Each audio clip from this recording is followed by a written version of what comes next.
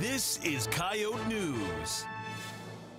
South Dakota governor vetoes a bill that would have made the state the first in the U.S. to approve a law requiring transgender students to use restrooms and locker rooms that match their sex at birth.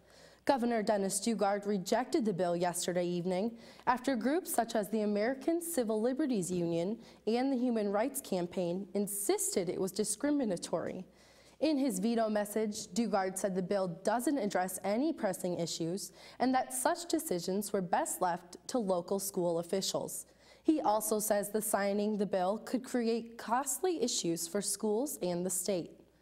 The bill's sponsor, Republican Representative Fred Deutsch, says he'll ask lawmakers not to override the veto.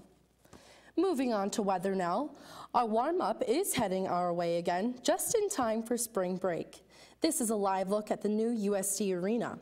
However, right now it's 37 degrees. There is a 20% chance of snow overnight tonight, but then look for spring-like weather on Friday.